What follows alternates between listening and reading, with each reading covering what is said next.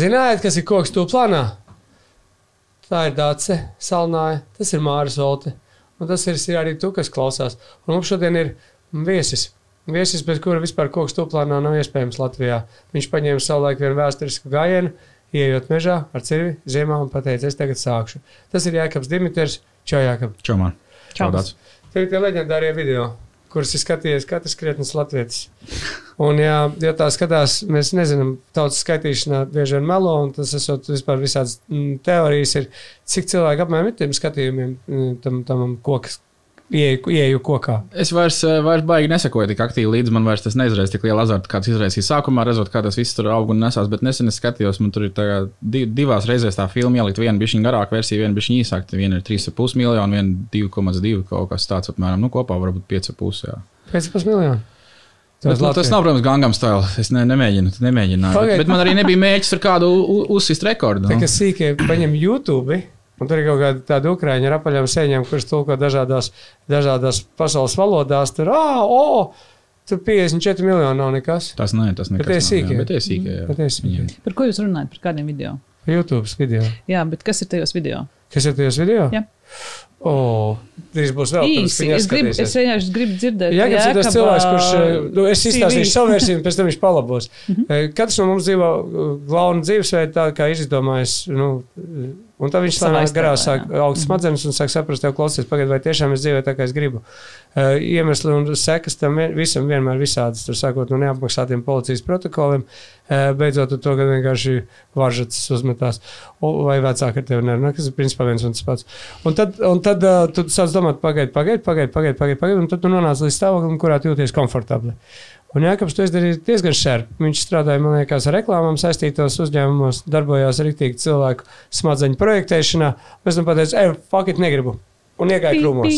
Jā, nu, tā ļoti konkrēti, un Mārs arī definē to. Es strādāju vairāk ar, ar video apstrādi, ne- nevis tīri kā ar pa, pašu reklāmas pa- propagandu, bet, protams, palīdzēju šajā procesā. Gan arī ar tāpat, bet tāpat laikā arī kaut kādas tur televīzijas lietas, es biju tur pagrozīju. Bet man vienā brīdī tas viss apnika, un eh, es sapratu, ka tas tam neesmu paredzēts, ka man jāatgriežas pie tā, kas man patīk bērnībā. Man patīk koks un kokēks, un, un, un, un, un gribējās. gribējās uh, Jā, nu, pārstāt kaut ko veikt, vienkārši skatoties ekrānā, bet kaut ko tādu, ko tu dienas beigās, kur tu pasties, un tas tev vienā brīdī ir kopā ar visiem pārējiem cietiem diskiem nenobirst. ja tev nav gadījumā backups uztaisīts, bet tas, kas paliek pēc tam, varbūt nu, gadus, 10, 20, 100, varbūt, varbūt labākā gadījumā vēl, vēl ilgāk. Jā, Jēkabs darbojās kā tāds uh, homo erectus no sēdoša cilvēka, kļuva par stāvokli. Jā, es pielicu vienkārši vienu brīdi kājās un teicu, pietiek.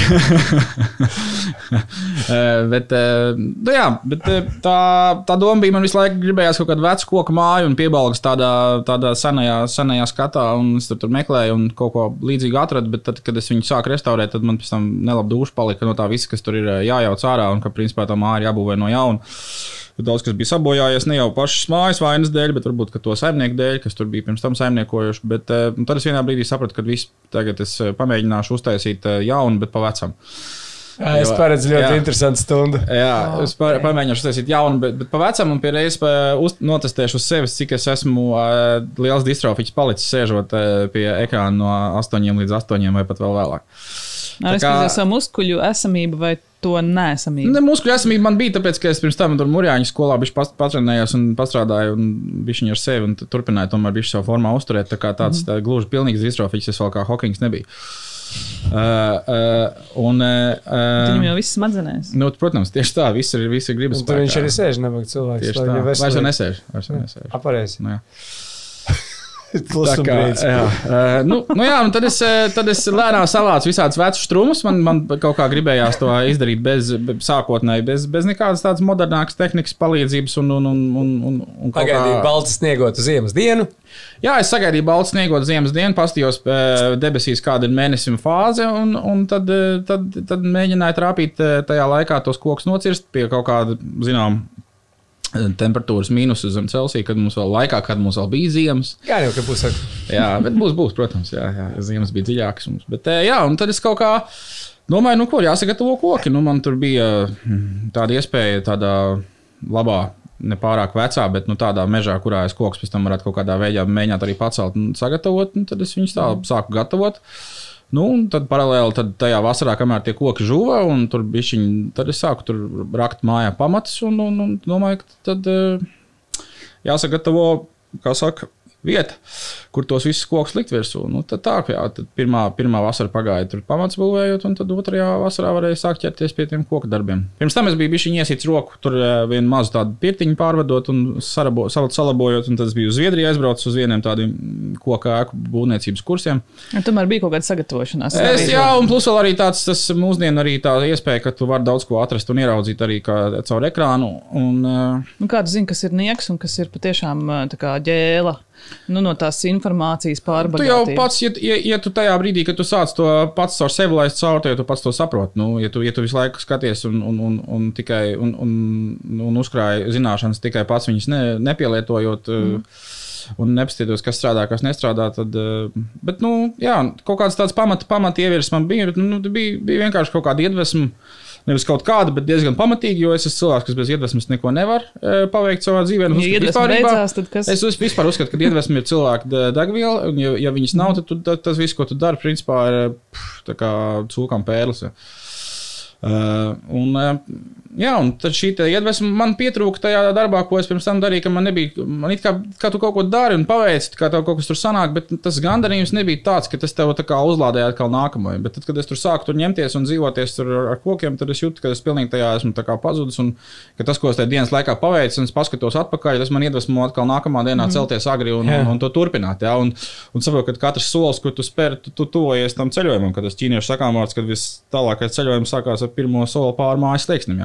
Tikai vienīgais vienā brīdī viņš jāsaņemās un jāspēr.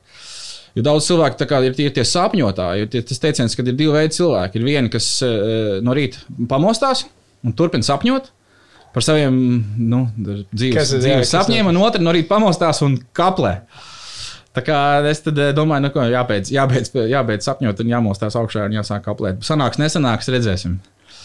Uh, bet, uh, protams, uh, ļoti liels daudzums arī procesā ir, ir, apēsts, ka tu tagad, piemēram, skatos atpakaļ, ko es tā nedarītu. Jā, jo, tā, tā, tā ir tā pieredze, tā, tā ir tā lieta, ko tu nevari. Uh, mm, tu, tu nevari uh, nopirkt, bet ko tu, tu vari iegūt. Ja? Tu nevari viņu, tu arī kaut kā atsēžot četrus gadus RTU, tu ne, nekad, nekad ne, nepiedzīvos to, ko tu pats vari reāli praksē, praksē uz sevi, uz sevi izbaudīt. Jā, tā kā māja jau pabeigta. Ja? Nē, nu, māja pabeigta, jā, jā. Tu esi noticis vienu nagu tomēr. Nē, es iebliezu ar āmuri garām aizšāvu. Jā, nu, tas nekas, tas jau ir viens jau ataugs, tikmēr atkal nākamais man viņa tā mainās visu laiku redz, kā panākiem atrāpa. Bet tas teiciens, ka jā, par tām kļūdām, kad ir tas galīgi garām, ka tev jāmācās no citu kļūdām. Es uzskatu, ka tā, kad jāmācās galvenokārt no savām kļūdām. Jā, tu vari paskatīties arī, ka oi, tas čels tur šitā darīja, un viņam tur bija baigi, tur pēc tam smagi, un, un viņš būtu darījis savādāk. Jā, tu vari kaut kādā veidā arī, protams, veikt analīzi no citu kļūdām, bet galvenais, es uzskatu, ka skolotājs nočuks ir tās tavas pašu kļūdas. Jo tu vienreiz to ceļu, nu, atšķirības starp meistaru un mācekli ir tikai tāda, ka meistars zina shortcut. Mākslinieks viņš pīlīja apkārt, viņš pa krūmiem laužās, skrāpējās, bet viņš aiziet. Un viņš aiziet. Tā ir liela starpība, ja, ja runā par to laika rezervi. Jā, laika daudz. Jā, jā, protams, jā, jo viņš, jo viņš nezina, pirmkārt, viņš nezina trikus.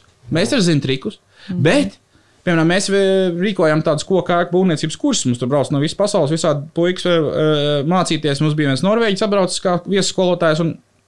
Viņš pēc mums tas tāds desmit dienu kurs, viņš pēc piecām dienām pie manis pienāk. Viņš saka, klausies, Jākab, es 30 gadu būvēju koku ēkas. Mm -hmm. Un viens no studentiem šobrīd, pēc piecām dienām, es redzu, ka to dara apmēram jau nu, tādā pašā līmenī, kā kāds, kurš to būtu darījis 30 gadus.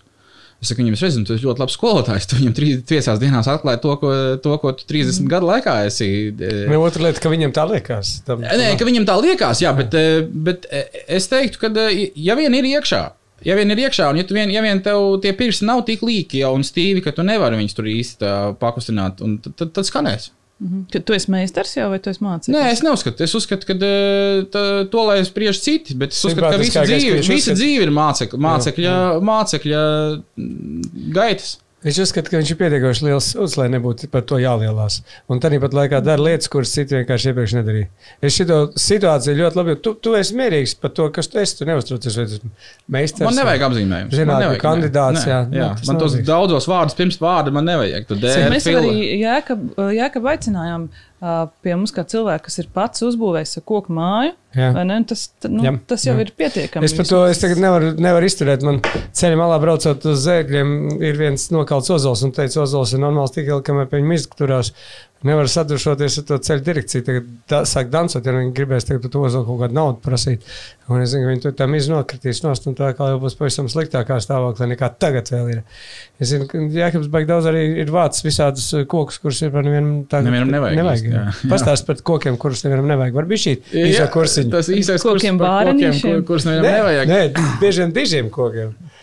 Tas, tas, tas stāsts, par ko man Mārcis tagad eh, mudina, lai pastāstītu. Mārcis kaut kad, kādu laiku atpakaļ bija pie maniem ar, no vidas filmu studijas ar, ar, ar raidījumu vienu filmē. Tad mēs stāstījām, man tur bija tāda liela ozola pie mājas palikuši. Un, un, uh, es uh, mājā, kā jumta saguma, izvēlējos uh, ozolu dēlīšus, eh, jo es biju pirms tam Anglijā, vienā vecā mūžā, kur šis te jumts. Nu, nu, arī no angļu ozola, kas nu, baigi neatšķirās no mūsējā. Tas tas pats ir ba, baltais ozols, jeb angļu saucam white oak. Eh, Bija 120 gadi uz jumta, un viņš neticēja.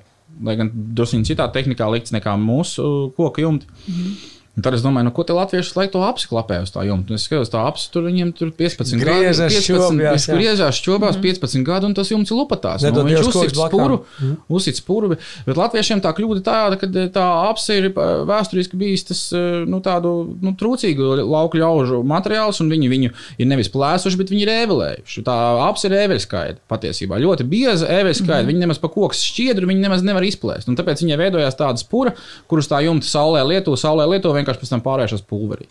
Ozols angļiem. Viņi vienkārši viņš ir plēsts ā, vecos laikos, viņš vienkārši tik plēsts pa šķiedrai kā tāds pagals, tā kā tāda dēlīša vienkārši no, no bluķa. Bet, lai, protams, šo te milzīgo darbietilpīgo procesu apietu, mūsdienās mēs varam šo lietu pa- paveikt, kā mēs viņu sazāģējam vienkārši uz, uz, uz, ar, ar, ar, ar lenzāģi.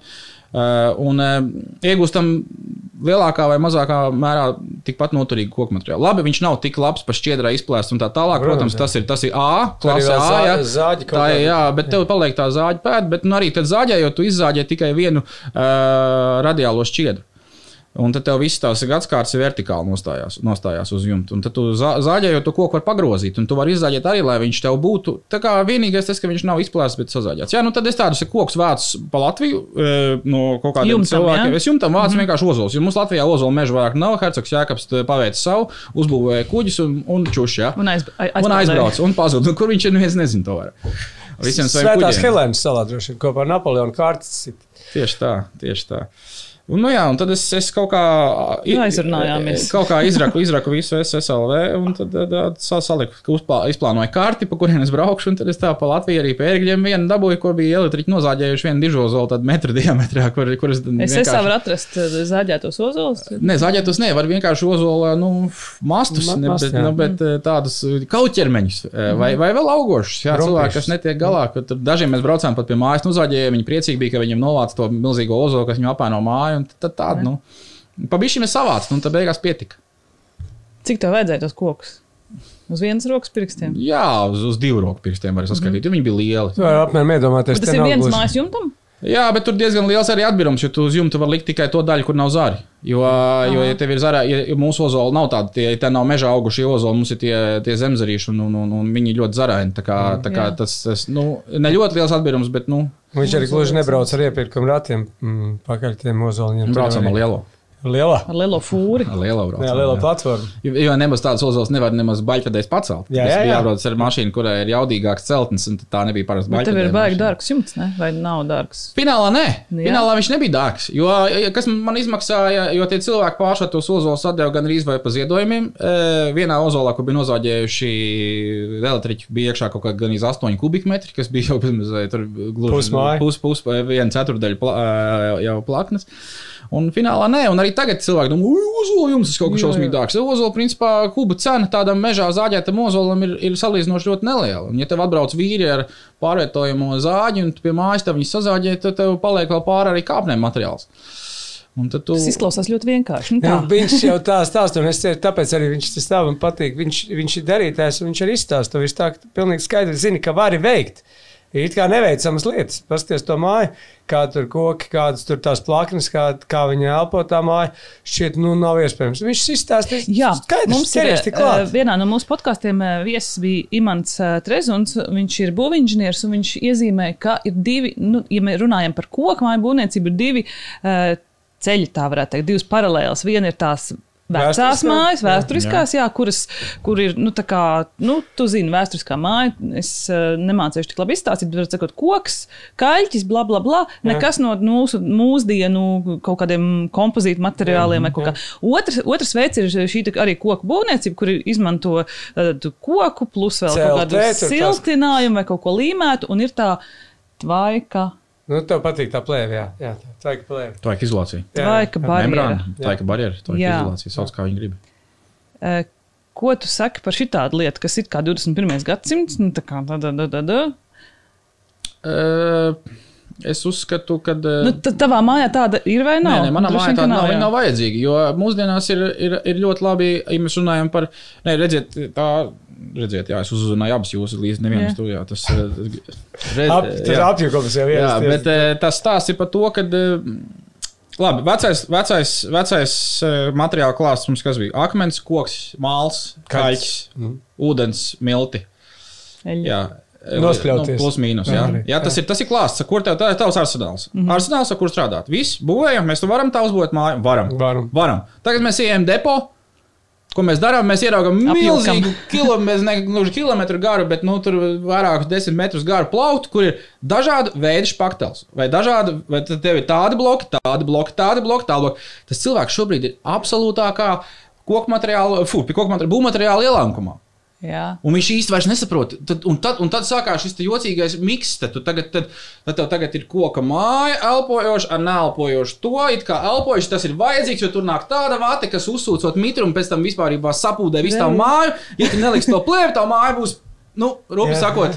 Beigusies. Un, Ja? un, un kurā vietā tev ir rekuperators? Rekuperators. Rekuperators, un ja vienā naktī tev iet garām lācis un, un uzsēžās viņam virsū, no naktī pamosties smokot. Jā. jā, jā, jā tu jūti, ka tev ir aizdus. Jā, un tas nemaz nav no Covid. Bet, bet, bet var taču pēc tam iet aptiekā un nopirkt visādus preparātus, kas ir domāti, lai izārstētu visu. te nevar tādā mājā kraukšķīgs nemaz izcelt. Man draugam ir šī tieši šāda te koka māja, tieši koka karkas māja, eleganti, ko viņam uzbūvēja mani labi draugi meistari, kur viņš ar mūsdienu siltumizolācijas materiāliem, nenosauksim vārdā ražotājus, lai lieki ne, nevienu neapvainot. netracināt. Ietin to visu māju, tā teikt, polietilēna tā ir tvaika barjerā, un ieejot pie viņa iekšā, tik tiešām aizstās elpa. Un No no sieva sajūsmas. sūdzās, ka piparkūks ir kaut kā jocīgi pie vecās mammas. Varēja kraukšķīt, izcept, un tagad pēc tās pašas receptes cep un nevar. Un baigais mitrums klausies iekšā. Nu, Mhm. tomāti jau aug ļoti labi. Tas palodzes. bet, eh, bet, bet, vai tas, bet, bet, vai, bet vai tā dzīves kvalitāte dēļ tā tev tagad ir uzlabojusies vai nē? Bet ir ļoti izcils eh, alternatīvs šim te lietai, kā kokšķietas plātne. Kā, kā veikalam depo ir kaut kādas izcils alternatīvas? Kā veikalam depo? Mešs. Mešs. Nē, veikals depo visu cieņu. Tur ļoti dažreiz arī kaut ko var jauku cilvēku satikt. plāksnes. Jā, kokšies plātnes. Piemēram, ļoti vienkārša būvniecības tehnoloģija, tāds tehnika, tev ir koka karkas, vienkārši vai sarežģīts, vienalga, kā tu izvēlēsies. Tu uzbūvē, nu, galvenu, nu, nesošo tev vajag kaut kādu, mm -hmm. nu, kur tev kaut kāds jumts turās un pie Jā. kā kaut ko stiķēt Jā. klāt. Tev ir vienkārši koka karkas, nu, pieņemsim, tur 200 mm vai 25, 250 mm bies, un abām pusēm tu šo te koka karkasu uh, nošoji ar kokšķies plātnēm. Kokšķies plātnes izgatavo Vācijā, tā rūpnīca, kas saucas Steiko. Ļoti laba alternatīva, trīsreiz lētāka, ir Baltkrievijā ražots kokšķies plātnes tieši pēc identiskas vācu tehnoloģijas. Šis kokšķies plātnes ir elpojošs, savā starpā turās galvenokārt ar koksnes sveķiem. Iekšpusē viņi pilda gan tev tvaika barjeru, un vispār, jo viņi caur sevi mitrumu turpina vilkt ārā. Jo koks, koksnes īpašības kādas ir e, no iekštelpas mitruma vilkt ārpus, ā, ā, uz ārpusi. Mm -hmm. Tāpēc koku, piemēram, masīvu koku baļķī, rases punkti iekšā vispār nav. Kokā kā tādā rases punkts neveidojas. Tev ir 5 cm, 10 vai 50 Jā, cm nebūs. koks, jā. Un viss, kas ir materiāli, kuros ir šī koksnes. e, sastāvdaļas, viņi turpina šo te koka mitruma izvadīšanas procesu. Tad tev nekādas, ja tev ir piemēram eh, šāda kokšķiedes plātne, mm -hmm. vidū e, celulozes siltinājums, vai šis pats kokšķiedes siltinājums, vai koka eveļskaidrs, kas ir izcils siltinājums.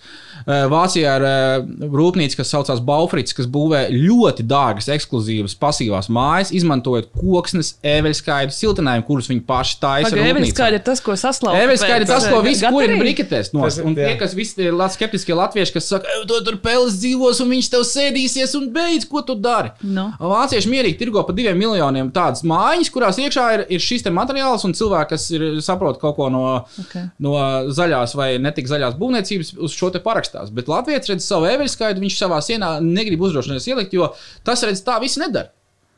Bet tā dara, tā dara vācieši 40 gadus, kur savā moduļu mājās šādās šāda veida ir tomēr... patentēts. Tā pele tur nedzīvo, jo pele nedzīvo birstošā frakcijā. Viņai uztais māju, viņai birst visu laiku uz galvas. Man šādi siltinājums ah. ir mājas sienās, un, un pēc eh, pieciem gadiem es to sienu parāvu vaļā, un man tur neviena pele, nekas tur nav sasēdies. Kur tā māja atrodas? Meža malā? Vai...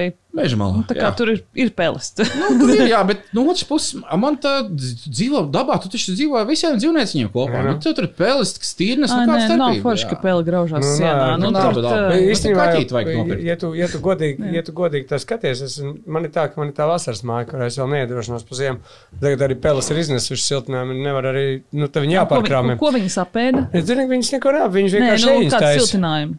Viņas, viņas iznes ārā, man tur bija akmens vēl tiekšā, tur es samest pa vidu. Uh, bet, akmens vēl teikt, bez vajag. Jā. Bez vajag izolācijas. Viņi nedrīkst sienā likt, jo viņi uzsūta sevi mitrumu un viņi nedod. Nu, jā. tāpēc ir vajadzīga šī plēve. Nu, atnā, tāpēc atnāca pelīts un vienkārši iznes viņu visā ārā. Lai... Nu, arī tas ir tāds. Palīdzēsim arī. Un, un, un tas jaukums par pelēm, kāpēc es to sāku stāstīt. Ka pelīts parādās rudenī, Tagad sāk palikt nu, jā, augsts. Viņam nav pavasarī, kad, kad viss atcels, viņas aiziet prom. Bet, protams, ja un es atnāku pavasarī un aizbraucu rudenī. nu, Līdz ar to nu, man nav žēl. Nu, ja tā ir vasaras māja. Jā, jā bet nu vienalga, pelīts nedzīvo. Pieci gadi, neviens. Tas tavs variants. Jā, mājā ir pieci gadi, tu piecus gadus apdzīvo savā mājā. Nu jau, jā, jau tā varētu teikt, ka abos stāvos piecus gadus, no vienā stāvā septiņus. Man liekas, kaut kas tāds ir. Jā. Vai esi kārtībā? Mm -hmm. Koksnes šķiedrs, tad tu tagad atradi tādu tā kā universālo. Es, e, nē, es vienkārši tagad runāju par uh, alternatīvu jebkādai nu, teicu, poli, poli, polietilēnam alternatīvu, jā, jā, kad ir variants uzbūvēt Koks, ļoti vienkāršu karkas māju, jo koks, koks pie mums maksā ļoti lēti. Ir, es runāju nesen ar vienu arhitektu, mēs projektējām vienu citu māju, viņš teica, pie Latvijas koku materiāla izmaksas uh, cenas, uh, koksnes izmateriāla cenas, uh, koksnes uh, kā materiāla uh, cenu tām jau var nerēķināt mājas. Šobrīd, jā. Nu, vispār, jā, nu, ja tu parēķini, tu uzbūvē koku lēt, māju, un tad viņi pēc tam tur, piemēram, noandelē, vai, vai tu iz, izrēķini koku, kad tas viss pārējais sastāv to mājas mm -hmm. cenu. Ne tas, ne tas koks, kas tev tur tajā karkasā ielikt iekšā. Mm -hmm. nu, cik mums maksā zāļu materiāls, e, nu, tāds pus, pu, puszaļš 160 eiro kubikmetrā, un nu, kalt, kaltētu jau var dabūt pa 200. Mm -hmm. Jā, un tad tu parēķini tur, nu, uz to kopējo mājas ciparu, jā, cik tev mm -hmm. tur bišķiņi, tur karkasam, dēļiem, ja tev ir. Un vienkārši, jā, tad parasti koku karkas iekšā kokšies plātne, iekšā māla kaļķa apmetums vai vienalga nošūja ar dēļiem, ārpusē uh, ventilējumā fasāde un apšuvums. Tikai atkal runājot par koksnes apšuvumu, latvieši ir ļoti, nezinu, kādā veidā, bet uh, nav paskatījušies īsti, kā, kādā orientācijā koksnes dēļ ir jāliek pie sienas. Viņi liek viņus horizontāli joprojām, un viņi sēvelē. Un šis vagonkas kultūras e, e, paradoks Latvijā turpina uzņemt apgriezienus. Lai gan visi skandināvi, normāli skandināvi jau cik jau simtiem gadu liek mierīgi zāģētu dēli. -hmm. kuram ir rupja virsma, pie kuras turās krāsas, krāso viņas mm -hmm. ar savām miltu krāsām, mm -hmm. liek viņas vertikāli, liek viņas trīnītī, liek ne pārāk savus materiālus, viņš tur smūgi staigā. Latvieši uzliek tādu pilnīgi kaltētu vagonču, un tad viņam pēc tam tā kā akordeons tur viss tā siena tāda uztaisās. Jo, bet tu gribēji jau kā labāk droši vien. Nu, gribēji jau kā labāk, labāk bet arī šis te pieejamības. Arī šis te materiāls pieejamības. Vecais tos teica, jēgiņas pietrūka. Nu, jēgiņas, tā arī var būt. Jēgiņas pietrūkst. Jā, dar tā kā, dar tā kā kaimiņš dar, nevis tā kā padomā. Zini, kā varbūt trūkst padomdevēji, jo visi ceļi. Pa daudz.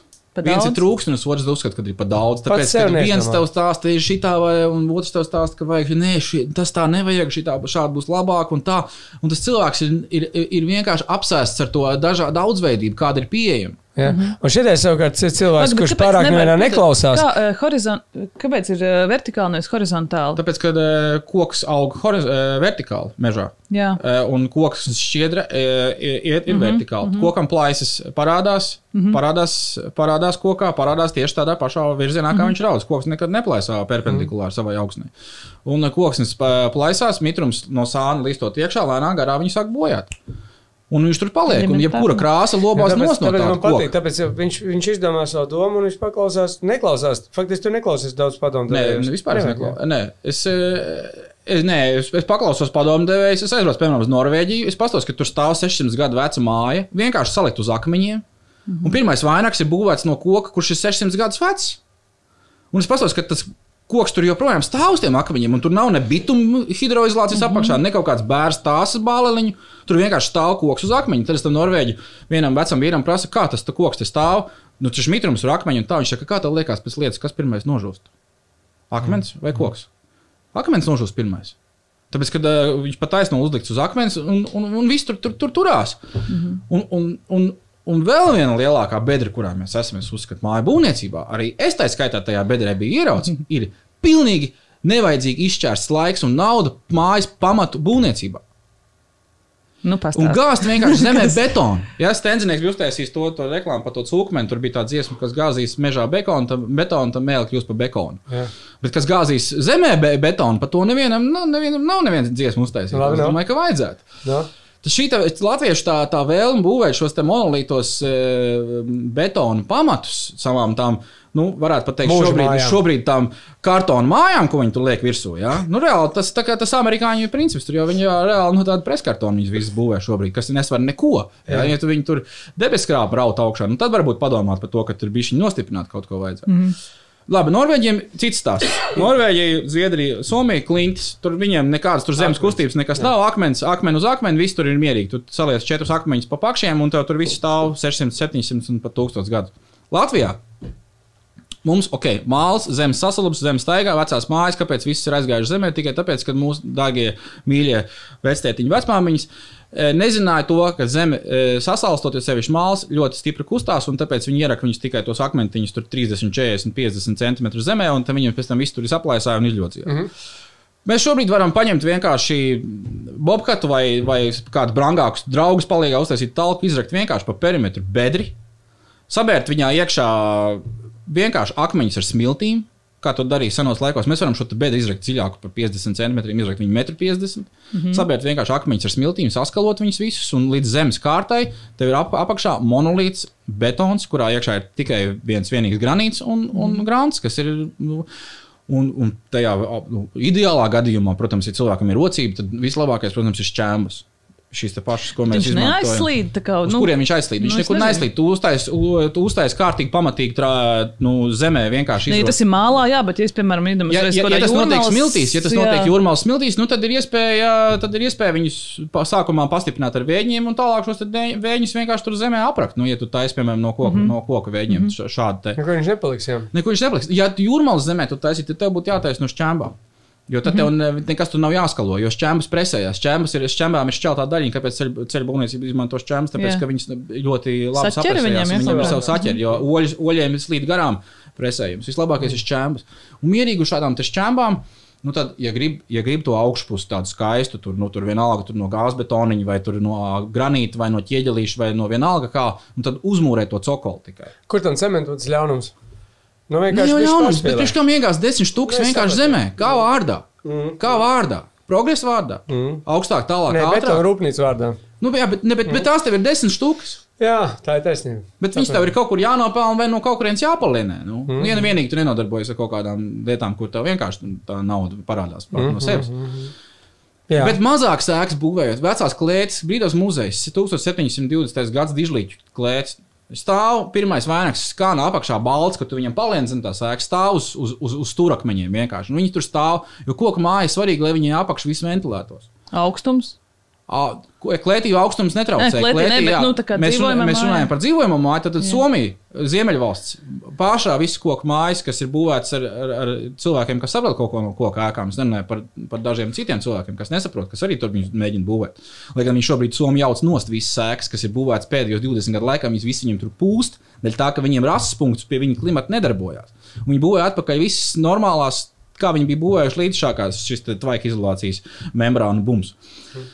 tehát Oho, Grīdu, grīdu būvē, būvējot, mēs vienkārši uzbūvējam grīdu kā vēl vienu sienu. Viņa nav sasaistīta ar zemi, viņa ir gaisā, mēs nosiltinām grīdu. Mēs ieliekam grīdas lāgas, kas ir arī tur 25 cm, piemēram, augstas. Mēs vēl paliekam apakšā melno grīdu un nosit, tik nosiltināt grīdu. Vienalga, vai tā ir kokšķēras. siltumizolācija. Jā, mm ne, vai tā ir kokšķēras vata, ko tu ieliec tajā grīdā, atstāja gaisa šķirkārtu, un tev tā ēka visu laiku pa apakšu ventilējās. Ļoti Tāpat daudz kokšķieri, ko tu jau runāji par sienu. Jā, par ir, sienu, ir, ir tāda mm -hmm. kāda veida dabīgais mm -hmm. siltinājums. Ir celulozes siltinājums, kas ir ekovāts, kas ir vecās avīzes, vienkārši samalts kopā, ar boru. Mm -hmm. Tad ir vā- vācu ražojuma kokšķieres vates, kas ir kā vienkārši kā akmens vata vai stikla vata, tikai viņi no kokšķieres mm -hmm. veidot, kurā nav nekādas ķimikālās, viņas mm -hmm. ražo pēc cepumiem. Uh, un tad ir tāda pati, tāda pati vata arī bērnamā veidā, un tad ir Latvijas praktiskais, ja viņš ir pieejams kāda galdniecība, nu ieber tur priedes eveļas skaidrs. Nu, nu pieejauc viņam bišķiņ kā Viņš negan labi smaržo. Tas Viņš labi, jā, labi. Es kā mazs puika gaidīju, ka vecais tevs ar lielu evēlu noies, lai būtu. Jā, bet tās nedara. Tās nedara. Tās Tās lielās ne- nedara. tāpēc, kad viņām e, nav vajadzīgais blīvums, redz, piemēram, nedara arī zāģiskaidi, jo zāģiskaidi ir pārāk blīva. Ja? Zāģiskaidi nedara, jo viņi pārāk blīvi. Kur ir, Viņš kur ir efekts? kaut kā jāsaka. Jā, to efekts? ga- Tev vajag, nu, tev vajag, lai gaisa tev ir gaiss. Vislabākais ir no frēzes, vislabākais ir, kas mūsdien, piemēram, kaut kādas rūpnīcas, kur ražo koku kaut kādas konstrukcijas, kur ir tās lielās CNC frēzes un, un lielās, vai koku logu frēzes, piemēram, kas ražo logus. Ja? No tādām galvniecībām jau ir iespējams sarunāt kaut kādu kravu. Eleganti. Eleganti. Tas ir, tas ir, tas ir zero waste. Tas tu reāli, tu reāli nosiltini savu māju reāli ar atkritumiem. Vēl vairāk tu paņem no Un, un vietējā. viņam uh, siltumnoturība pie 70 kg uz kubikmetru ir 0,04. Tas ir identisks eh, jebkurai modernai koks uh, Un vēl siltumizolācijas viena lieta, materiālam. ka tev tas siltumizolācijas materiāls sevī savāds ir CO2, kas tagad visiem ārkārtīgi ir svarīgs, jā, lai gan auga viņi visu absorbē. Jā, jā. Un kaimiņš skatās pāri sētām, domā, tas gan ir jocīgs, ko viņš tur viņš- Lai dara. viņi skatās. Nē, jā, kā dzīvo tādā veidā, kur kai, pie kaimiņiem var aizbraukt ar pajūgu, lai viņi neskatās daudz. Lai viņi neskatās, Jā, tieši tā. Kam viņi jāredz? Tieši tā, kas viņiem vispār Viņiem jādara. sāpēs tikai. Jā. Bet tas, ā, nu, ka kāds ir tas kļūdas ā, procents un faktors šitā te it kā buroties? Citiem vārdiem sakot, pastāsti jomas, kurās tu esi apsadirsies pa ceļam. Un tas tie paši pamati, ko es tev tikko stāstīju. Es jau tādus uztaisīju arī tā kā visi. No cementa? Nu, jā. es tikai viņu samūrēju ar akmeņiem. Nu, samet akmeņus iekšā, Jā. cik varu augstumā, mm -hmm. lai saraktu milzīgas bedres un gāzu iekšā cementu ar akmeņiem. Mm -hmm. Bet man to nevajadzēja darīt. Es pēc tam uzbūvēju nākamo ēku, tur netālu no savas mājas, kur es izdarīju tā, kā es to tikko stāstīju. Un man salīdzinoši šis te aizņēma vienu dienu laiks. Tas man pirms tam ar to cementu un tiem akmeņiem pašam to darot aizņēma trīs mēnešus. Jā. Oh, Ir atšķirība laika ziņā. Mēs to izdarījām desmit veči, astoņās stundās. Mēs uztaisījām talku, izrakām bedres, sabērām iekšā akmeņus, es nojaucu vienu vecu mūri. Kas bija pamesta vienkārši ēka, kas bija jau, jau, jau vienkārši viena siena tikai stāvēja. Es aizgāju pie kaimiņa. nāc, jā. Nē, Jā, pie kaimiņa jā, klausies, nu, nu, es tev tur. Man bija tāda ideja, vienkārši braucot, skatoties, bieži vien skumdeni tie mūri. Bet mums cik mums mūri? Mēs vecos mūrus varam Jā, mēs varam salikt viņus zemē, un viņi mums tur kalpos vēl vienu. Viņi mums, mums balstīs, jā, viņi kalpos, turpinās jā. tur kalpot. Nē, man nav nekas pret cementu, lai viņi cilvēki tur priecājās un, un, un, un, darbojās. Bet, bet, bet priekš kam? Priekš kam? Kā vārdā? Un tādai vienkāršai mazai ēkai. Vajag vispār nevajag nekādas tranšēs, nekur rakt. Vajag vienkārši tikai četras bedrītes izrakt. Mm. Viņas aizpildīt metru tur 50 dziļumā ar, ar smiltīm, akmeņiem vai labākā gadījumā ar šķembām, ja viņas ir pieejamas. Jā. Šķembas ir izcils materiāls. Tas, kas ir pieejams, un vienkārši uzlikt četrus elementārus stūrakmeņus, un jebkādu mazu, tur mazāku, ja mūsdienu, tur nezinu, nu, kaut kāda 4x5 vai, vai būdu, vai pirtiņu, vai ko. Viņai tas, tas ir reāli viens dienas darbs, un tas nemaksā tikai, tas maksā tikai tavu laiku. Mm -hmm. Nav vajadzīgi tur arī kaut kāda kosmiskā būvfirma, kas tev to visu veids. Tāpēc, ka tam cilvēkam mēs esam dzīvojam laikā, kuru mēs visu laiku viens otru apkalpojam. Mēs esam pieraduši, ka mēs jau drīz vairs nevarēsim pat pašu stolot aiziet, ka mums nebūs kāds speci, speci, specifiks. Nu jā, tas rada tādu mānīgu drošības sajūtu, ka kāds, kas nāks un izdarīs manā vietā, ka viņš noteikti labi zina, ka viņš nekļūdīsies. Jā, tāpēc, ka mēs esam uh, ieprogrammēti uzticēties ekspertiem Mēs Jā, jā, esam jā. pieredzināti, jā. un jā, redzēt to, ko mēs paši redzam, mums saka, tā nav. jā. Mēs sakam, laikam, nē, nē jā. mēs sakām, mums liekas, ka tā ka ir tā. Nē, jo tu neesi eksperts, tu nezini. jā, jā, ka, bet tā ir. Mums pašvaldībai ir tā, ka visur ir. jāuzticās, ir, eh, zina zinātu. Ne, no vienas puses jau ir jāuzticas, jo tas meistars jau zina vairāk, kā tu pat. Jā, Tu tā vari kā paklausīties. paklausīties, Tev jā. nav neviens aizliedzis ievākt informāciju un paklausīties, mm -hmm. ko ir novērojis šis, ko ir novērojis šis, ko ir novērojis šis. Bet beigās jau tas tā lēmēji var esi tu pats. Mm. Ja, vien, ja vien tev ir pašam savs daudz maz veselais, bet saprāts. Ielēma bija šī no sevis un beidzās jau. Jā, tev ir Kā, Es cik jūs, eh, kā tu izreikināji, cik tev kvadrāts vajadzēs tavai mājai? Tīri tā. kvadrāts, ko kam dzīvošanai. Jā, Es vairāk piegāju pēc tā, cik es garu, garu materiālu varu pacelt un, un, iz, un sagatavot. Cik tu gari vari pacelt? Seši? Nē, nu, seši normāli ceļās, jā, seši normāli, jā, seši pusi, Ei, seši pusi. Mēs tur Cik bieži to muguru apsēdies? Ar mugurē man bija baigā trauma. Man, lai- paldies eh, doktoram Zemītam, sporta ārstam. Viņš man salika vietā. Es tur tā pie stieņa taisīju visādas trikus, maksā visādas trikus un nomaucos, nomaucos uz prāna lietas, kad divi mēneši bija mierā. Bet mugurā pēc Bet, viņa. bet tas, tas jau arī tā tā, tā karstgalvība, principā. Tu jau pats Nu, jā, protams. Tāpat kā viss. Pats jau nu, savu- cik tev tā liela māja ir? Mana māja ir iekšpusē 5,5 reizes 10,5 metri. Tas nozīmē, tas ir kaut kāda rupi sakot, pirmajā stāvā 60 kvadrātmetri. Viņam ir divi stāvēki. Un, Un otrs otrajā, pirmajā stāvā mums ir viena atvērta tips, viena atvērta plānojums, viena tāda liela istaba, kurā vidū maizes krāsnes, kas ir Mhm. apvienota ar virtuvi, un stūrītī maza vans istaba, un otrā stāvā ir divas istabiņas. Mhm, Un cik jūs cilvēki dzīvojat mājā? Četri. Augšā bērniem ir meitām, divām ir viena istaba, augšā mums ar sievu viena guļama istaba. Mm -hmm. nu, pagaidām vietas pietiek. Ko es gribu piebūvēt klāt, tagad ir plāniņā mazu tādu nelielu verandu, kas būtu tā kā ēdama istaba. Ah, Kur, mm. kur ir būt apvienota redzēt jā, kur, jā, kur apvienot ar, ar, ar, ar tādu siltā verandu, kur arī ziem, ziemā vienkārši. Nu, jā. jā. tādu, tādu, tādu pie, piebūvīt. Ja, varbūt, ja es būtu šobrīd būvējis, varbūt, kad es būtu paņēmis kaut kādu pusotru metru vēl klāt un varbūt augšā iztaisījis divas istabas, lai bērniem būtu katram sava. Mm. -hmm. Bet eh, tāpat laikā būvēt šīs milzīgās mājas, laikā, kad latviešu jau dižģimene skaitās ar diviem bērniem nu, vai, vai ar trim. Uh, un, bet, bet, bet laikā, kad, kad tie bērni vēlās tur iet un dzīvot pa visu pasauli, un, un, un, un beigās tur sēdēt ar to sieviņu vienā tādā mazā kambarītī, un nemē, nevarot piesildīt to visu milzīgo māju, ko tu Jā, būvēsi. jā, Ka jā. šis te e, būvēt lielās mājas e, arī ir, ir diezgan liels nepārāds. Labāk bija viņi paciesties, kamēr tie bērni tur varbūt bija tā. tā. Vai tu esi pats vecs, sieva vīrs, a, kas ar kaņepēm? Tu tik vari arī no kaņepēm kaut kādu Jā, siltinājumu. kaņepes izcils, izcils materiāls, kaņepes paļi. E, Kaņepes paļi ir, ā, ir alternatīva šā, šādai te, piemēram, ā, koks, ko es teicu, koks everskaida vietā var bē- bērt kaņepes paļus. Jā, viņam varbūt nedaudz sliktāks tās siltuma vadītāja īpašības, jo viņš bija viņa cietāks materiāls, ir, bet ir tikpat labi pieejams arī kaņepes vatis. Mm. Jā, Es viņas, jā, viņas ir bišķi dārgākas, bet nu, mēs ejam tālāk, aicis vilna. Jā. Aicis vilna, tas ir, tas, ir, tas ir numur viens pasaulē. Ā, Lamberts pat nevarēja atļauties. Viņš pat noraustījās, ka viņam viņš gribēja no Anglijas pasūtīt siltinājumu savai mājai. Es pat domāju, nu, klausies, Aivar. Tad Nu, tāpēc klausies, dārgi. Nu, nu, tāpēc, ka par dārgu viņam bija kā bišķiņi, bet tāpat laikā. Bet kāds pateica, varbūt, ka pēlē Tas ir droši, apēdīs. ka viņš nenopirka. Es tā, tā, tādu leņķēnu klīst. Jā. Labi, varam noskaidrot Bet, nu, labi, lai jā, viņš dzīvo mierīgi. Ne, nu, viņš bija- tā bija viņš izvēle. Nu, jā, Tā bija viņa izvēle. Bet šis te siltinājums, piemēram, Latvijā diezgan daudz aitkopju. Viņi nezina, kur to vilnu lai bāž un kur lai viņi Jā, liek. nu jau vairs nevajag. Jā. Ja, ja piemēram, es aizbraucu pie aitkopa, un viņš būtu to aitu cērpjot, atdalījis to nu, e, netīro vilnu, kas ir e, tur, nu, tur no, no, no, no, mm -hmm. kur tur ir dažādiem izkārnījumiem kopā, un tā tālāk būtu atsevišķi un nodedzinājis, un to, kas nāk no kākla, no, no, no, no, no sāniem, mm -hmm. būtu salicis atsevišķos maisos. Mm -hmm. Es aizbraucu no viņu, paņemt viņu un nosiltināt visu māju ar nemazgātu aitas vilnu, un man siltumvadītājs radi- radīt, radītāji tie īpašības būtu, es ieliku kloķi visiem. Jūs būtu vienkārši vienā milzīgā adītā džemperī ietinies ziemā. Un, ja? un kas arī ko- lanolīns. Ar koksni viņš ir ir Jā, pretrunā. viņš neiet jā. pretrunā, un ja es viņu ielieku iekšā starp kaut kādu koku karkasu, un viņš man ir slēgtā vidē, un, un man ir tur apmetums virsū, es jau to aicis vilnu smaku arī nu, tur caur tam nu, ne, nejutīšu. Un, ja viņai ir iekšā nemazgāt, viņai iekšā ir lanolīns, eh, šeit, tā Tur viss ir kārtībā Tā, viss tur ir Jā. kārtībā. Jā, Bet balans. tāpat laikā es atbalstu, tā visa vilna ir kopā tādā čupā, nu, ko es viņu iešu šķirot. Nu, protams, tu tādu, tādu ar izkārnījumiem neliks sinā iekšā. un Tur, tur. Bet, ja tu viņu izmazgā, tad viņi pēc kāda laika metās kodas iekšā. Jā. Bet, Jā, no, tas jā, tad, tad mums ir aicis vilna arī, arī neapgūts. Nu, bet tur arī jāzina. Jā, Dzīvojam zaļi tur un tā tālāk, bet kaut kā baigi neaizdomājamies, ka mēs varētu varbūt pa visiem kopā vienu mazu mazu rūpnīcu uztaisīt, kur mēs varētu savus kaņepes audzēt un aitas vilnu pārsādāt. Pa kaņepēm, man liekas, ir kaut kas noteikti, tāpat kā pa tām baļu mājām, es zinu, kad viņi tur no saliem. Ir jau, ir jau arī tas hempkrīt, saucamais hempkrīt. Mm. Tas ir kaņepju tā kā kaļķa un, un, un, un, un, un, un cementa, tā kā tāds, ka viņi būvē, nu, tā kā sienu, kā, kā mod, nu, ne moduli, bet kā masīvu vienkārši kā tādu. Bet tas nekad nekļūs par tādu masveida kaut kādu izmantošanu. Tas vienmēr būs tāds nišas tomēr produkts, mm. kā tā liekas. Es domāju, tas ir atkarīgs tikai no tā, cik cilvēki cik cilvēki. Jā, jā, es domāju, no kāda, ma, es domāju, kā masveidu jautājums, kas uz masām strādā.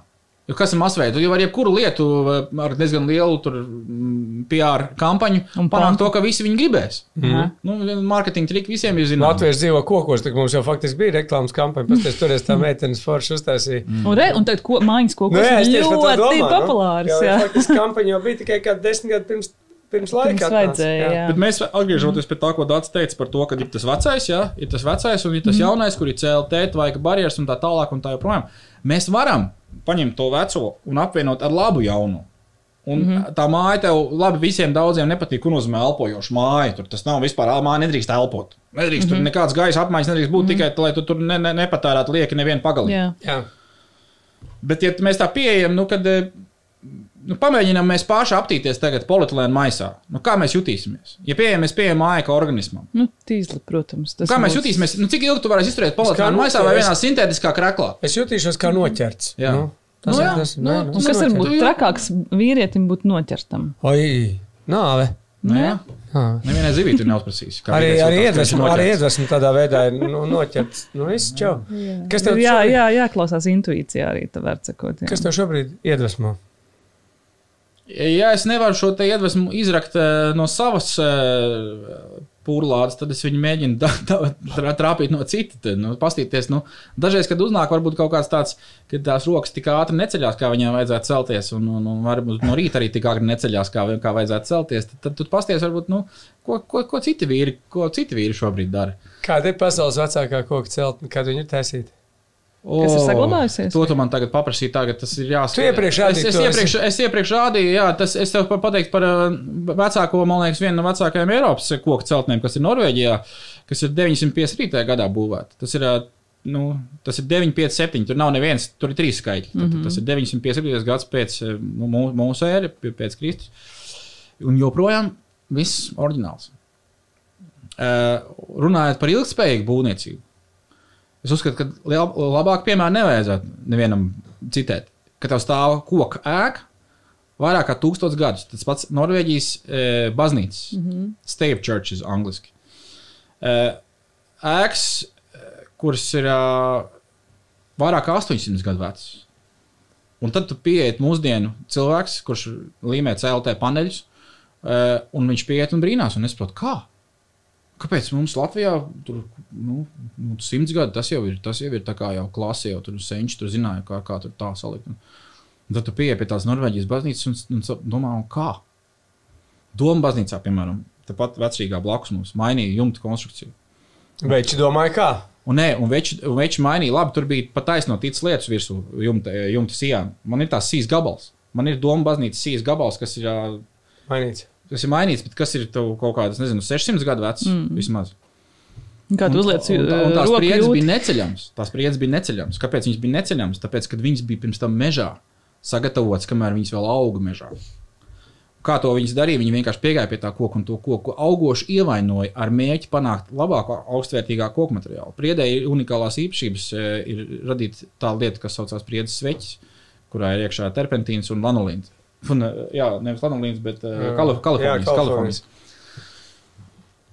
Tad senči saprata, viņi pastījās, o, ko Alnīts gājis garām, nobērzis ar ragiem mīzu, un pēc tam tajā vietā, puh, klausies, baigi jaudīgi, tur kā mitrums nemaz nesūcās iekšā. Straumēna grāmatā stāsts par kūti, kur būvēta no kokiem tādiem, tajā no tāda laika, kad vēl cilvēki ar vilkiem kopā dzīvoja, un kuriem slapjiem paliekot pēc lietus ūdens vispār iekšā nesūcās. Tad tu runā par, par koku, kurš ir pilnībā noslēgts e, un kurš mitrumu neuzsūc. Kādā veidā tas ir iespējams? Tas ir iespējams, ka viss koka ārējā aplievas daļa bija piepildīta ar sveķiem. Un šādā veidā tu vari to iegūt vienkārši koku lēnā garā, mežā nomizojot dzīvi. Tas šausmīgi izklausās. Izklausās šausmīgi, Jā. bet šausmīgāk izklausās, ka nocērt koku un pēc 20 gadiem tu cērt nākamo. Jā, Vai tu labi. nocērt vienu koku, pagaidi dažus gadus, nenocērtot viņu, un pēc tam viņš tev kalpo tūkstošus gadus. Mm Mhm. -hmm. Tad ir kas izklausās šausmīgāk. Tad cik ilgi tev šis te viens nabaga vai, vai, tieši, mm Mhm. -hmm. vai tieši bagātais koks, kas raud simts mm -hmm. gadus, pēc tam tev vēl kalpo tūkstošus? Jā, tikai, tas- tikai tas tad, ir ja tu drusku pieeji tam ar zināšanām. Labi, mēs runāsim, tas nedara šodienas, šodienas tur apgriezieniem un tā tālāk. Tur cilvēki dzīvoja ar citu. Tu esi sācis skrapēt jau kaut ko. Jā. Mm, es tā Jā. domāju. Jā, jā mēs, eh, mēs bijām Norvēģijā eh, ar, ar vienu zviedru, jo šobrīd Norvēģija un Zviedri mēģina paši atklāt no jauna to, ko viņi ir pazaudējuši mm -hmm. laika gaitā. Te pašā laikā arī mēra laikā ļoti daudz zināšanu izmira, jo šīs bija zināšanas, kas nogāja no paudzes paudzē. Zviedrijā bija tradīcija, kad. eh, Jā, mums Sibīrijā nomira. Nē, arī mēra laikā. Mums Nu, arī jā. Jā, nu Īslandē vienīgais viņi tur vairāk izdzīvoja. Mm -hmm. Tāpēc tur arī bija. izstāst lūdzu lēnāk vēlreiz par to koku? Tad viņu ievaino, viņš aug koks Jā, nu, jā, mums aug vislabākais koks šādai te, e, ievainošanai ir priede. Eglei, eglei viņa, viņa bojājās, ja viņa ievaino. Mm -hmm. Eglei savādāk tā sveķu ražošanas sistēma, bet priede, tā, pēc padomu laikos Mārcis noteikti labi atceries, mežos es redzēju, ir tādas, ko priedēs ir tādas iegrieztas sveķu, Jā. sveķu krāšanas. Padomu Nacionālajā parkā mēs varam redzēt, ir sveķu krāšanas. Kas par skrīšu ļoti labi. Jā, jo speciāli, jā. Sēlīs kāpā var skatīties. Jā. Jā, un tikko nesen tāda viena koka vētrā nogāzās, tāda priede, un man pie mūsu, man viena no amatniekiem, draugiem, ir tāda Riharda Vidzīska līgatnē, koku matīnas muzejā, ir šāds te stumbrs no tādas ievainotās priedes. Un mēs varam redzēt, kas ar šo koku ir noticis, piemēram, laika gaitā un augot. Tajā, tajā vietā, kur viņš bijis ir ievainots, viņš ir pārstājis augt. Tajā vietā koks vairs neaug. Ja viņam, no, ja viņam noravē nost, ja viņam noravē kambiju, Jā. kambijas ir tā daļa, kurā koks aug. Ja viņam noravē no, nost kambiju, ievaino, viņš nekad vairs neataugs. Viņš Mhm. apaugs tajā vietā, kur vēl viņš ir dzīvs. Viņš turpinās augt kaut vai tu atstās viņu uz vienas, divu centimetru platas strīpas, bet viņi turpinās dzīvot un par to viņi ražos augšā. Uh, Barības vielas. Barības vielas, jā. Tajā vietā koks pārstāja augt. Ko viņš izdarīja? Viņš sevi noslēdz, viņš noslēdz visas poras, viņš sadzen tur iekšā sveķi, aplēja uz koksnē un, un, un sevi, var teikt, nohermetizē, Iekonservē. iekonservē. Lai viņš tālāk varētu mierīgi dzīvot un augt, un viņam nav jārūpējas par to ievainojumu, kas viņam tur, lai viņš nepūžņo. Tā ir koka intel, intelektuālā e, pieeja e, pašam sev. Un tad senčs vienkārši šādā veidā paskatīt, o, oh, mēs varam izdarīt to ar mērķi. Tā ir viena tehnika. Jā. Tad, tad tā viņš šādā- pirmo vainagu tikai no tāda praktiski. Es domāju, ka e, to koku atmizoja apmēram 7-8 metru augstumā. Cik tālu tik tu ciet, tiec klāt no apakšas speciālām tādām tā kā mizojumam lāpstiņām, tad tu vēl Mhm. piemet trepes klāt, bet to jādara ir vienā laikā, tu jādara ir mājā, tad, kad tā miza un visas, un viss, tikko viss tā augstnes aktivitāte ir ļoti augsta un tas tā miza lido pati nost. Mhm. Ja tu darīsi viņu ziemā, viņi ļoti smagi un grūti nāks, un tu nevarēsi viņu tā tik labi, tik labi noņemt. Bet viņš jāatmizoja pakāpeniski, četru gadu laikā. Tu nevari viņu uzreiz visu nomizot, viņš nomirs. Mhm. Tev ir jāatstāj, viņš, lai viņš lēnām, viņš tu piedzen vienu sekciju, tad tu sāc tā kā krustā, tādām krustas svītrām, tu sāc visās četrās debesu pusēs, un tu lēnām ej viņam riņķī. Tad četru gadu laikā tu iegūsti e, baļķi, kas ir e, piedzīts pilns ar sveķiem. Jā, viņš ir smagāks, viņš ir smagāks, viņš vienmēr arī būs smagāks, bet viņam pret bojāšanos. E, Vairs nekāda aizsardzība nevajag. Vecos laikos logs. Kā viņš smaržo? Nu. Kā viņš smaržo? Labi, viņš sākumā saulē ārpusē tu atstās. Viņš Liek viņš pie- viņš, papēs, raudās, patesies, viņš noraudāsies, un tad tu vari nokasīt to nost. Vecos laikos vīri izmeklēja tikai šīs te sveķēnās daļas, lai būvētu logus. Šobrīd visās galvniecībās viņas met ārā kā brāļus. Kāpēc? Tāpēc, ka uz viņiem krāsa neturās virsū labi. Vecos laikos neviens krāsu virsū nelika. Lika vienkārši no šādas te sveķēnas priedes, kas pēc tam pārvēršas par dzintaru. Varētu šo te koku nosaukt par dzintaru koku. Jo dzintars, kas ir, ir, pār, ir, ir nu, pārakmeņojis sveķis. jā, tas pats Un, ir. un, tas, un tas koks eh, laika gaitā paliek cietāks un cietāks, jo tas sveķis vienkārši cietē. Mhm. Un, un, un tas sanāk, ka viss notiek otrādi. Nu, mēs runājam par kaut kādu ilgspējību. Koku logi papūst ļoti ātri Latvijā. Jā, tāpēc mm. daudz cilvēku plasmas logs. Vēl liekas tapiņam, lai varētu ap, apmēģināt. Jā, pamēģināt. un, un otra tehnika ir Markus Aurēlijs. Pirmais gadsimts eh, pēc mūsu ēras eh, saucās arhitektūra, viņa grāmatu krājums. Viena, viena sadaļa, kur viņš raksta, koku gatavojot ēkām, eh, nedrīkst nocirst uzreiz. Koks ir jāiecērt. Visas viņa dzīvības gredzena biezumā, ko mēs runājam par aplies koku. Kokam ir sēdes koks un aplies koks. Un priedē izteikti ceļš koks un sarkana, aplies koks un gaiša balta. Mm -hmm. Sēdes koks mm -hmm. nogatavojies, koks aplies koks, aplies, aplies koks, kurā notiek viss dzīves process. Jāiecērt. Aplies koksnē. Labi, mēs iecertam apmēram kaut kādu 2, 3, 4, 5 Nu, Atkarīgs centimetrus. no diametra. to, pār, to, pār, to pārbaudot, cik lielu to, ko, cik daudz tev ir jāiecer, tu vari ielikt ar speciālu urbīti iekšā. Izvēlkot ārā, tu redzi koksnes šķērsgriezumu. Tāds speciāls meža, meža, mežģīniekiem ir tāds speciāls mm -hmm. urbīts, un tu redzi, cik daudz ir ap, aplievas koksne, cik daudz ir, ir uh, sēdes koksne. Tātad šādā veidā tu izdari iecirtumu vai mūsdienās motorzāģi vienkārši iezāģējot uh, gredzenu. Mm -hmm. Tu šo koku uh, uz celma uh, mērķi nonāvē. Tā saucās tāda, un, un pa to vietu, kur kokam ir šis ievainojums, viņam Trans, transportējot barības vielas augšā lejā, kokam apmainās visu laiku. Mm -hmm. Ir vien, vienas šūnas, kas ir silēms, un, un otrs aizmirst, kas, atbild, kas ir tas, kas dzena kā lejā. Pa šo vietu tiek no koka izzīt ārā visi cukuri. cukuri. Cukuri ir koksnes barības vielas. Priedē, ka nocērta galā iznāk ārā tāda tā kā sveķīša, tev liekas, ka tie ir sveķi, tie nav sveķi, tie cukuri. Liekas, ka baigi sveķēnā priedē tāda lipīga viņi ir, jā, bet tie ir cukuri. Mm -hmm. Tie balti ir cukuri.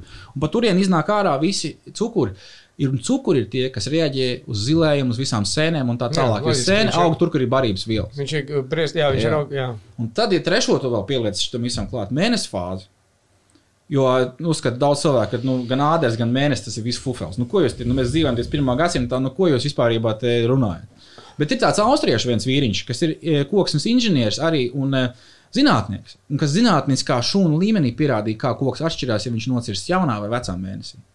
Vecais mēnesis tas mums ir, kad mēnesis dilst, tad, mm -hmm. kad mēnesis jau gan izvērsts pie debesīm nav redzams, un ka viņš ir pilnībā jau, jau pilnīgi tukšs. Nu, es zinu, ka tas nagus iegriež jaunā mēnesī, viņa ātrāk attaug nekā tad, ja zāle arī. Zāle arī tas pats, jā. jā mat arī. Mat arī. Jā, bet kokam eh, vecā mēnesī eh, eh, aktivitāte aktivitāti. Viņam, viņš tā kā, tā kā aiziet uz, uz, uz, uz iekšā, nomierinās. Jā. Jaunā mēnesī viņš viss ir, viss ir, viss ir pilns.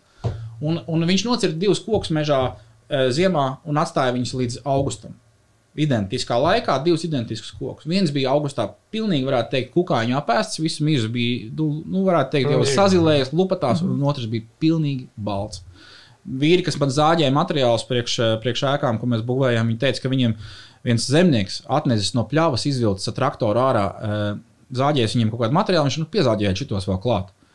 Viņš, viņi skatās, viņu, ko tu mums te kaut kāds tāds koks nemizots. Tad, nu, pieci gadi viņam tur pļāvā vienkārši viņi stāvēja atnes. Viņš būtu lupatās pilnīgi. Nu, priedi, tad, tas ir skaidrs. Tu priedi atstāja kaut vai negais laikā bez mizas. Viņa sutīgā laikā viņi, viņi sazilē vienā, vienā rāvienā. Viņi uzliek, sāk zāģēt, viņi pilnīgi balti iekšā. Nu, acīm redzot, šis koks ir ticis vai nu, nozāģēts, vai viņš nogāzies, vai, vai ir, ir tieši, tieši šajā pareizajā pareizajā laikā. Es esmu dzirdējis arī par to, ka senāk speciāli taisiet tos uh, ozolus uh, tumšos ar Mārkos mērķis iekšos 25 jā, gadiem. Jā. Kurš kābeklis? Bet uz 25 gadiem es par domu baznīcu iesāku, es uh, vēlreiz jā. paturpināšu, un nākamā lieta - koks pludināja vecos laikos. Jā, gan. Un kokam pludinot, viņam uh, tas pats notiek, ka izskalojās cukuri ūdenī pa, pa porām. Tas ir vēl viena tehnika, ko mēs Norvēģijā, Norvēģijā runājam, to sauc par washing, jeb tā kā koku mazgāšanu. Mm -hmm. Tu vari arī tādā veidā iemet viņus Daugavā, piesien viņus pie, pie e, upē vai piesien viņus pie krasta, lai viņš tev tur izskalojās. Lai viņš mājās. Jā, jā, un tāpēc arī vecie koki bija daudz e, izturīgāki, tāpēc, ka viņi bija pludināti. Visam ir kaut kāds savs iemesls, tu vari tikai paklausīties un pabrīnīties, cik daudz šķautņaini ir tā koka pasaule. Jā, viņi ir diezgan līdzīgi cilvēkam. Asins rite. Koki ir ļoti inteliģenti. Mm. Asinsriktē inteliģence. Viņš tādā veidā iecērt viņam e, tos robus. Ko viņš, ko viņš dara? Nu? Šķiekurs ražo pastiprināti. Kāpēc? Tāpēc viņš zina, ka viņš mirs. Jā, viņš saprot, ka viņam jā. ir čau. Viņam es skatos pēc eglēm, es redzu, ja viņi sāk čekurus taisīt, tad viņiem nav laba sajūta. Jā, tas nozīmē, ka eglēta sevišķi šobrīd ir izgrauzusi iekšā, kas šobrīd mm. ir epidēmija visā Eiropā. Zini, kas ir, ka, pa kuriem izgrauzusi iekšā eglē? Izrādās ne jau pa stumbu, kurš ir labi ar sīdām sveķiem ap. Tik līdz viņi pacēlās saknēs, pa saknēm viņš ir iekšā. Ir sevišķi šādās ziemās, kad, tu, eh, kad nav, kad nav sals bijis un ir vējš izpūš un izstāvā eglis visām saknēm ir ārā un viņš ir turklāt. Tāds ir, jā. Tev māja ir pilnīgi no koka? Nu, 90. 5% jā, no koka. Nu, tad iekšā man ir māla apmetums, ir augšā višķiņu sienām. Tā pati jumta konstrukcijā, tā kokšķiedras, kokšķiedras eh, vate. Par ko mēs runājām, mm. nu, un, un sienās ir eh, baļķis, un tālāk ārpusē, otrā daļā sienas siltinājumam papildus ir, ir koks, koksnes eveļu skaidrs, šīs mm. vai priedes frēžu skaidrs. Uh, Eh, sap, saprasēts. Jā, Nevis saka? vienkārši sabērts, bet saprasēts. Ko tu saki par eh, ķieģeli? Jo, nu, labi, Norvēģijas karš tur nav zemē. Ķieģelim, eh, ķieģelim tīri dekoratīvi tikai nozīmē. Ķieģelis, ķieģelis kaut kādā saimniecības sēkā, ok, bet siltuma vadīt spējas viņai nekāds 10 centimetri. Koka, koka ēkas siena atbilst 50 vai 60 centimetru ķieģelim. Mm -hmm. Neracionāli, var sakot. Kāpēc Nē, nē, nu, ja, piemēram, Nē, nu, agrāk, ja- Latvijā jau vari- diezgan daudz to cep- cepļu, ja mēs Jā, skatāmies nē, no veciem vēsturiski, ķieģeļiem, jā. piemēram, es uzbūvēju skursteni, uzbūvēju starpsienu. Uh, jā, ķieģelis arī ir manā mājā, kā es teicu, 95% Mhm. koks, bet man ir starpsiena un, un skurstenis būvēt no veciem ķieģeļiem. Krāsni. Tā maisa krāsni. Un maisa krāsnes būvēja no, no krāsnes ķieģeļiem. Mm. -hmm. Bet var būvēt arī, būvēt arī no veciem. Piemēram, tagad es atkal būvēju vienu citu ēku, es atkal braukšu tūlīt uz Rīgas, veco savu, savu vietiņu pakaļ cara laika veciem ķieģeļiem. Kas Mhm. ir nu, tādi tumši sarkanie, tādi rītīgi, tādi lielie. Klausies, nu, un, uh, kā tu jūties? Tu jūties kā savu ceļu gājējs, ja tomēr ir tev doma biedri kaut kādi veči. Kā tu jūties? Tu plecs sajūti jūti Latvijā? Es, es, es baigi nečupojos. Es baigi nečupojos. Doma biedri man ir. ā, Es kā minēju, to, ka mēs veid- veidojam tādas koksnes apmācības, tādas kā seminārs, un mums sabrauc puikas no, no vairākām pasaules malām. Tur no Peru atbrauc kādi indiāņi, atbrauc no Austrālijas, no Jaunzēlandes. Kur, kur jūs varat atrast? Mums var atrast, ā, tie, tie, kas grib, tas mums atrod. Kad teiciet, kas, kas, kas meklē, tas atrod. Šajā manā cārspīdīgā manā tagad meklē un atrod. jā, jā. Nu, mums ir tāda blicīta, ka mēs tur tā, tā, tāda vairāk amatnieki esam savākušies kopā, un tad mums ir Paklausieties varētu teikt, tāda, drauga, tāda draugu būšana, ja brālība, un tad mēs tur, tad mums tur Šos- šos- šādi tādi sekotāji. Šo stundu uzmanīgi klausoties, jūs varēsiet paklausīties, var dzirdēt, uz kurien jābrauc un kur jāskatās. Tik pieminēt, jau vārdu uz vārdu arī zem, tā kā mierīgi. Uh, kā tu redz nākotnē, to cilvēku muļķošana ar tiem moderniem materiāliem un viņu bagātīgo klāstu ir pabeigusies, viņi iet mazumā, ja vēl būs apakalipse. Nē, es, apakalīdz būs viennozīmīgi, agri vai vēl, bet tas, vai viņi tā būs materiāla vai kādā savādākā ziņā. Tas, Bet tas nebūs būvmateriāla veikalā. Uh, bet es domāju, ka tā izvēle jau cilvēkam vienmēr būs un, un, un paliks. Nu, nu, nav jau tā, ka mums te pienaglo krustā un saka, nē, tagad tikai drīkst no gāzbetona būvēt, nu, nekā savādāk. Labi, ir šī būvnormatīva, kas paliek aizvien briesmīgāka. Tur, ka tu tur prasa prasības tādas un prasības tādas, lai tā māja neelpotu pilnībā, un lai viņi būtu pilnīgi slēgti, un lai tev tur, tur nedod Dievs, tur divas pagals vairāk pa ziemu izkurinās, un tas tev CO2 tur priedi, kur tev pēc tam tāpat pie mājas augustība uzreiz uzsūk sevi. Pa daudz tu izražosi. Tad eh, es domāju, ka. eh, Man liekas, ka mēs Latvijā pagaidām vēl dzīvojam zaļi diezgan un, un, un brīvi no, no tik lielām, varbūt, kā piemēram Amerikā, piemēram, nemaz tādu ekoloģisku māju, tur nemaz tur baigi, tur oficiāli nemaz uzbūvēt nevar, ja tur nav šis te viss būvnormatīvos izpildītājs. Bet runājot arī par koku māju, mēs vajadzētu mums runāt par arī koku mājas izturību. Zemestrīcēs nesagraujams mājas ir tikai divas. Mazmaiņš un koka mājas. Guļbūra. Mhm. Japāņi uztaisīja astoņu Richtera skalas Atkal testu. Redzēji? Eh, astoņi pēc Richtera, Richtera, Richtera skalas magnitūdas testu, un viņai tikai lo, logājas noļodzījās bišķiņi. Un otrs ir uh, Amiša uzbūvēja Floridā kārtīgu koku karkas māju, tā kā viņi savus šķūņus būvēja. Nevis tikai leņķīšiem un kaut kādiem skrūvītēm, bet reāli ar, ar tapām un salaidumiem, tā kā vecos mm. laikos arī būvēja. Nu, un tur nāca pāri viens ritīgais. Pūtiens. Nu, tas negluži Maikls, bet nu, kāds no, mm -hmm. no, no, no tās kategorijas, e, e, F5. Un bija bēdīgs skats. Pludmale bija tukša, tikai viena māja palika stāvot, kad atnāca apakaļ tie cilvēki pēc evakuācijas. Nu, tad e, viena koka, koka savienojums, kurš ir nofiksēts ar, ar ozolu koku tapu, vienkārši savienojums, kur tev vienkārši salaidums ir nu, māma un paps. Jā. Mm -hmm. Ir e, pusotra tona vajadzīga, lai šo tapu izlaustu no vietas ārā. Tad divas tapas tev radīs jau trīs tonnas. Kāds spēks jāpielieto, būtu, lai šo te savienojumu salauztu. Amerikāņiem kāpēc visas tās mājas pat plakanas paliek? Tāpēc, ka viņiem viņas vienkārši ir no kartona būvētas, un arī mēs tādas mājas būvējam no kartona. Mēs Labi, filmās redzam, mums nav tādas vētras. Nu, mēs nedzīvojam, mēs dzīvojam, varētu teikt, nu, Laimes paradīzē. Mēs paradīzē. esam laimes salā. Ne mums te kaut kas pūš, ne mums te pakārst, ne mums te Mums paaugst. pat Covid īsti nav. Mums te pat īsti neņem, ne, neviens vīrus. Jā, Māri, kas tev? Kā sīkums. Labi, labi, ne, nesmējieties. no. Jā, koks ēkas izturība. E, tu atliek apakaļ? Nē, viss labi. Ah, un, un Japāna, Japāna zemestrīču zeme. Viņiem viss ēkas. E, kaut kā tās lielākās zemestrīces ir izturējušas līdz šim. Kāpēc? Tāpēc, piemēram, viņiem divstāvīgas ēkas ir uz, ir uz, uz, uz slīdņiem. Tev apakšējais stāvs kustās, augšējais, augšējais stāv tur, kur viņš stāv. Viņiem vispār tie salaidumi ir tādi jocīgi, ka no sākuma liekas, pagaid, kas tas ir vispār. Bet tur Man ir uh, leģenda par tiem salaidumiem. Tur ir baigā, baigais stāsts. Tas nav tikai tāpēc, ka viņiem vajadzēja tos salaidumus tik sarežģītus, lai tās mājas būtu tik izturīgas. Viņiem bija sacensības. Visu laiku notika uh, starp amatniekiem sacensība, kurš izgudro, izgudro sarežģītāko savienojumu.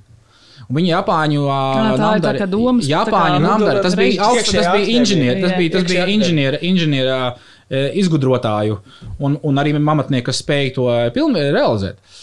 Tad, tad viņu starpā no, bija mā- Japāņi, tāpat kā Eiropā, strādāja ģildēs. Viņiem bija ģildes tādas šādas, tādas amdara ģildes, un viņi savā starpā rīkoja konkursus ar uh, visu sarežģītāko savienojumu. Un viņi nonāca vienā brīdī līdz tādam līmenim jau. Kad viņi atnāca tagad viena, tagad, nu, viena blīca tāda, nu, kas skaitījās tāda baigi, baigi, baigi krūtie džeki, Japāņi. Viņi atnāca tagad, nu, nolika vienu tādu kubiku, rubiku tur priekšā viņiem tagad. Nu, teica, davai, veči. Tas saucās māja. Atkārt. Nē, vienkārši divas koka, de, de, koka detaļiņas vienkārši saliktas kopā. Un Viņš teica, nu, veči, paskatieties, ko mēs esam uztaisījuši. Protams, viņi vinnēja. Bet tad atnāca no, ā, varētu teikt, žūrijas komisijas pēc tam viens vīrs. Tāds jau, nē, novilka savus čībiņus. Nolika to ko- koku starp uz diviem, uz diviem bloķīšiem un uzlika viņam virsū, un viņš salūza. Viņš teica, jā, es jūs apsveicu, jūs esat tiešām uzvarējuši. Es uztaisīšu visu sarežģītāko savienojumu, bet arī visvājāko, kādu jebkad es esmu redzējis savā mūža laikā. Tā kā tas, tas nonāk, mēs redzam ļoti lielu piemēru vienkāršiem koku savienojumiem, kur nav vajadzīga šī Japāņu uh, sarežģītība. Jā, tas ir, tas ir tur meistarības tur lidojums, bet tas nav vajadzīgs. Vienkārši koku savienojumi ir Nomierināja. Kāda ir optimālā latviešu māja pēc tās platības? Tad tie paši 160 līdz 260 kvadrāti. Ja? pa lielu, man liekas. Liela. Es nezinu, Nu, kā, kāda ir cilvēks- optimāla latviešu ģimene tādā gadījumā. Izmērs. labs Cik tā tur jautājums, dzīvos? Jā? Mums taču nav vairāk 10, 12 Man, jau, bērnu. ne, man vienmēr kultūras. liekas, ka cilvēkiem vienam pie otra jābrauc pa, ciemos, tāpēc ka tā doma apmaiņa šobrīd traucē. Tāpat kā priedēji mums ir bijis šī iecirsts, un mums e, tie kanāli informatīvi viņi vēl citur, bet dažreiz tu jūties tā kā Tie bišķi čieku neražojās tā kā. Tev vajag vietu, Tie neražojas. kur tā kā ciemiņus eh, izguldīt. Jā, man šķiet, ka tas ir godīgi. Prot, jā. Uģis Vai arī, taisīs šķūni, vai arī pats gulš čūnī un ciemiņu tavā mājā. Jo ciemiņi Man ir vēl viens čoms, kuram ir domas dabā, saucās viņu, tas, tas, tas viņš saka, puikam, redzot, ka tagad naktī lietas, nezinu, viņš ejam uz miljonu zvaigžņu hotelu. Kas tas tāds, kas tas tāds? Iet pļāvā, noguļās un skaties visu tieši Miljonu zvaigžņu. Pat, man liekas. Ak, jūs romantiķi, man šķiet, ka, lai mēs eh, beigtu šādas skaistas nocis, tad mēs arī varam likt punktu vai tapu. Ozola, divas. Jā, Eh, dubultā. Un uh, paldies tev, Jākap Dimiter, un paldies tev, Māri Olte. Paldies, Dārts Salnē. Paldies, Paldies. Dārts, ka tu mūs spēji samierināt. Mēs Ko lestījāmies turpinājumā? rudens. Atā. Es sāku ar vieglām pēc Jā, divām, lai dzīvo. Čau. lai dzīvo. Čau. Šis podkāsts ir tapis projekta Koka būvniecības klastera starptautiskās konkurētspējas veicināšana ietveros klastera programmā un saņem ERA finansējumu.